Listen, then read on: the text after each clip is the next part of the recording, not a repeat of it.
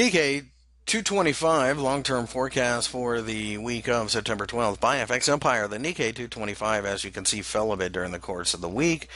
To me, it looks like uh, there's a lot of noise below, and therefore we could find buyers in this area. I think if we get some type of supportive candle, it's likely that the market will um, sooner or later find some type of buying opportunity.